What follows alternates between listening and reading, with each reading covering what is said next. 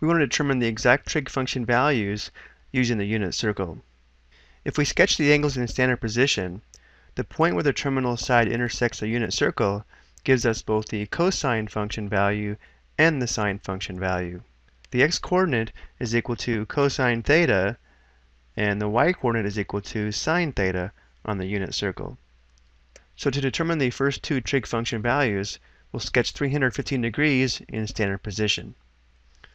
So here's the initial side. Now we'll rotate counterclockwise 315 degrees. So if we rotate 3 quarters of a turn to here, this would be 270 degrees. So we need to rotate 45 degrees more to reach 315 degrees, which would be here. Here's the terminal side of 315 degrees. Notice how the terminal side intersects the unit circle at this point here, where the x-coordinate is equal to square root 2 divided by 2, and the y-coordinate is equal to negative square root 2 divided by 2. So cosine 315 degrees is equal to the x-coordinate of square root 2 divided by 2. And sine 315 degrees is equal to the y-coordinate of negative square root 2 divided by 2. Next we have the cosine of 600 degrees and the sine of 600 degrees. So now we'll sketch 600 degrees in standard position.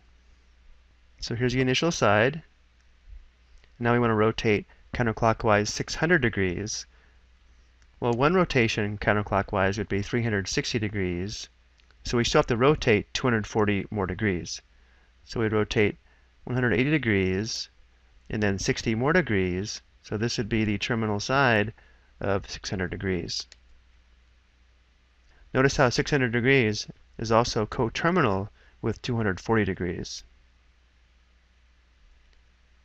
The terminal side intersects a unit circle at this point here, where the x-coordinate is equal to negative 1 half, and the y-coordinate is equal to negative square root 3 divided by 2.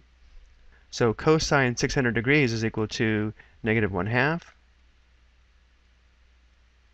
Sine 600 degrees is equal to the y-coordinate of negative square root 3 divided by 2. Now as we saw in the unit circle, remember we can use coterminal angles to the given angle to find the same trig function values. As we saw in the unit circle, we could have used 240 degrees instead of 600 degrees to determine these trig function values. Next we have cosine negative 450 degrees and sine negative 450 degrees. So again, we'll start by sketching the angle in standard position. The initial side is here. Because the angle is negative, we'll now rotate clockwise 450 degrees. So again, one rotation clockwise would be negative 360 degrees. So we need to rotate another 90 degrees clockwise, which would bring us to here, the negative y-axis. Again, notice how negative 450 degrees is coterminal with 270 degrees, so we could also have used 270 degrees to determine these trig function values. So here's the terminal side. Notice how it intersects the unit circle at this point here, where the x-coordinate is 0 and the y-coordinate is negative 1, which means cosine negative 450 degrees is equal to the x-coordinate, or 0, and sine negative 450 degrees is equal to the y-coordinate, or negative 1.